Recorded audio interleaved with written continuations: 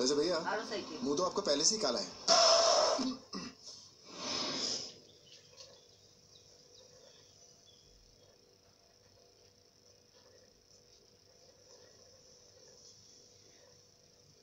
जोरी साहब जोरी जी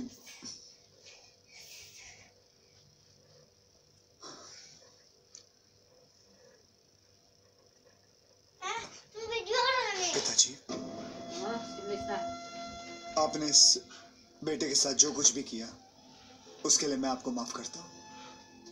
और मैंने जो आपके बेटे के साथ किया